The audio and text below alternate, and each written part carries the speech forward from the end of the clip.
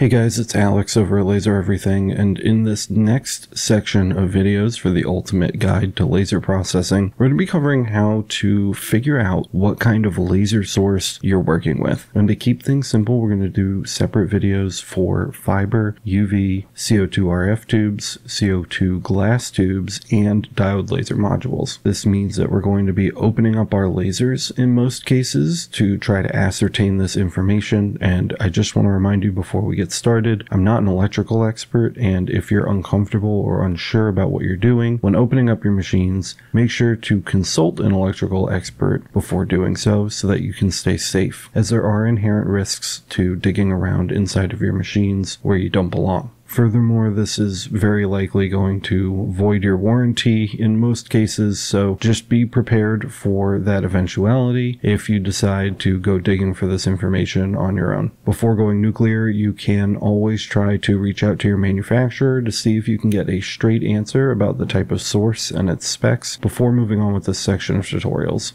oftentimes they'll happily share that information with you. And if you can get it with them and you trust your manufacturer is being accurate with that information, then that is a preferable way to go about this. That said, let's cut the sticker and dive into fiber laser sources. Most fiber laser sources are contained inside a separate unit from the scan head and laser path in a box like this. And there are a few different configurations that determine what you're going to have to do to them to get inside. Some all-in-one units you may have to take off a rear panel or a base or the bottom, but in split style lasers, which are the most common, generally there are six machine screws on the front and six machine screws on the back that can be removed to move the front faceplate and rear back plate away from the machine, which allows you to pull up the side panels and see the inner workings. This does vary quite a bit from manufacturer to manufacturer, but this is the most common style. Some things I'll mention before you get started, before opening your machine, absolutely make sure that your machine is powered off and that it is unplugged from the wall. I've caught caught a shock multiple times from the insides of these machines, and it is not fun, and I promise it's not something you want to experience. After the machines had a little while to sit, it should be discharged and safe to work on, but I do want to call attention to one component in particular. This component right here in the bottom left corner is called the EMI filter. It's the electromagnetic interference filter, and it basically cleans the power coming into the machine so the machine has nice waveforms to work with while distributing power power to the various components. And I've gotten shocks from these long after the machine has been unplugged and discharged. So I just want to point it out as a danger point inside your machine when you think you've done everything else. Beware of this component. Pictured here, it does have little plastic insulators over the contact ports, and that's great, but I've definitely had machines where that isn't the case. I've not tested to see if you can still get shocked through these insulators, and the majority of times I've been shocked by a fiber laser, it's been by this component. So please exercise extra care when working around this device. It should be pretty clear right away where your laser source is. It's the largest box inside the machine and it's going to have a fiber optic cable coming out of it. Quick tip while we're sitting here looking at it, if your fiber optic cable is not as it is pictured here in one large loop and instead is coiled up into a tight coil, you're going to want to cut that zip tie, keeping the fiber optic cable coiled so you can relax the turns in the line. Fiber laser fiber optic cables are not meant to be tightly coiled and they can actually wear down much faster when they are. So you'll want to do your best to give this as much breathing room as possible. The way the fiber optic cable is situated in my Mactron here is pretty much the best case scenario, so you can use this as a guide. But what we're interested in is what kind of fiber laser source we're using. I've seen labels from all manufacturers and they are all pretty clear and easy to find. They're generally a silver or bright white sticker, and they list the manufacturer and the source model number. Pictured here is the source for my 80 watt JPT, and we can see it's model YDFLP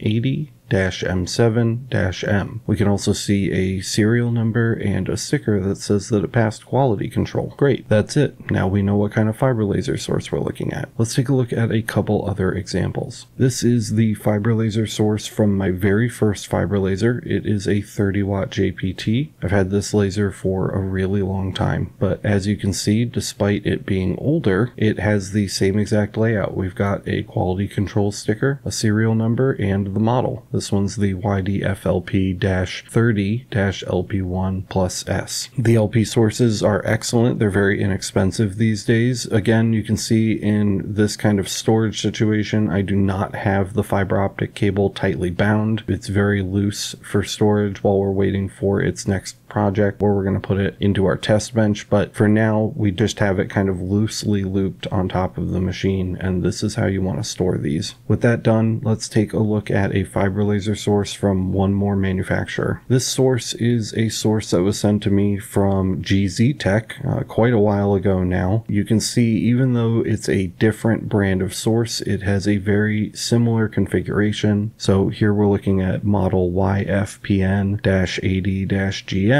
We've got a serial number and a manufacture date, which is great. And this one even lists the power rating. So it's a 14 amp, 24 volt DC power supply that's required to run this source. You may have noticed that all of these sources have stickers in different spots. So you may need to look around. It's not quite as bad as some RF tubes where the sticker is on the bottom. So you shouldn't have to unmount these to solve your fiber laser mystery. I've never seen any stickers on the bottom side that's actually mounted mounted to the base plate inside the machine. But if you can't find a sticker before you go unmounting your source, I'd probably try once again to contact your manufacturer because remounting them can be a bit of a pain in the butt. While you have it open, it may be a good idea to spray some compressed air. If you have uh, canned compressed air, that's fine. Or if you have a blower of some sort, like the Datavac that we like to use at Laser Everything, just to get all the dust out of here while we've got it open. For now, though, you've got your source information so what do you do with it? Well, of course, you can always Google search things, but I'd also recommend heading over to makearmy.io where you can see our laser source database. And if we go ahead and give that a click, you'll see a ton of different laser sources listed here with more information about them. Let's see if we can find that 30 watt JPT LP source. Here's the YDF LP E30 LPS. And if we go ahead and give that a click, we can see a ton of information about our laser, including the millijoule max. We can see our laser's wattage, the wavelength. If it has a locked pulse width, we can see that value or unlocked uh, range here. We can also see the operating voltage, so what kind of power supply it requires. And for some reason, it's not filled out for this entry. I'll have to fix that. But you can also find the pulse repetition rate or your frequency range for your laser in these tables as well. So this is a great resource. And again, you can find this at makearmy.io under the laser source database to get all the information information you need to set your laser up properly inside of Lightburn once we get to that point. So this is something you're going to want to bookmark because we're going to come back to this page over and over again. If for some reason you can't find your source in this database or your source is missing information, feel free to reach out to me and let me know. We can get it added if you do have the data for it. If you don't, I'm sure we can find somebody that has a similar source in the community. Hit us up over at Discord or at masters.lasereverything.net if you want to support the channel, and we can help you discover the accurate details about your laser source so you can get your machine set up properly. That's all for now. There's a lot more to discuss as far as what's going on inside of this machine, but